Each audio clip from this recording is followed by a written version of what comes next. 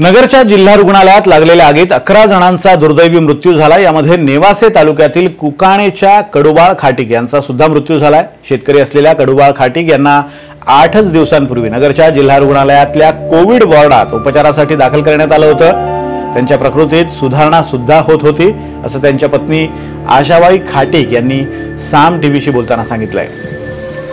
अभिजित सोनावणे यांनी त्यांच्याबरोबर बातचीत केली आहे. त्या नेमकं काय म्हणाल्यात आपण पाहूयात. नगरच्या जिल्हा शासकीय रुग्णालयामध्ये आज आयसीयू मध्ये लागलेल्या आगीमध्ये अकरा जणांचा बळी गेलेला आहे. यापैकीच एक कडुबा खाटीक हे देखील या ठिकाणी उपचार घेत होते. व्यवसायाने शेतकरी असलेल्या कडुबाळ यांना कोरोना झाला होता आणि त्यानंतर उपचारासाठी या ठिकाणी दाखल करण्यात आलेलं होतं.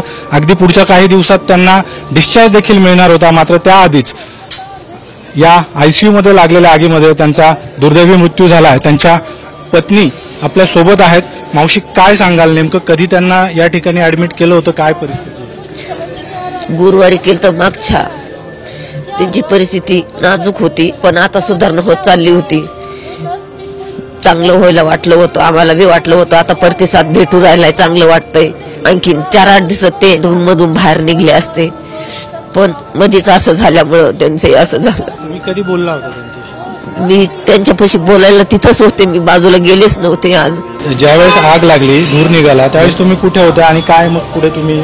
मी हेच केलं नाही मी तिथंच होते पण माझ्या मालकाला असं धरून मी तिथंच बसले त्यांच्यापाशी. ज्यावेळेस आग लागली त्यावेळेस रुग्णालयातले कर्मचारी होते का तिथे? आतमध्ये? एक होता माणूस एक होता आणि एक सिस्टर होती दोघ जण होते. बाकी कोणी नव्हतं तिकडं माझ्याकडं. ते दोघं दोन त्यांनी त्यांचं काय प्रयत्न केले ते केले आणि ते बाहेर पळाले. कवशिक पळाले ते कळलं नाही मला. मी माझ्या मालकाला धरून घट्ट तिथंच बसले.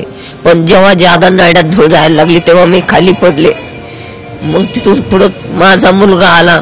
आम्ही साऱ्या याच्या चक्रा घातल्या. अंधारात काहीच दिसना आम्हाला. माझा मुलगा हे झाडा टक्कर घे तिथं टक्कर घे तिथं टक्कर घे करून करून मला बाहेर काढलं. तुमची सरकारकडे काय आता काय मागू? आता मी सरकारला काय देते मला तरी काय कळत? मागायचं मी अडाणी आहे. माझ्या मुलाला काही मदत केली तर करा.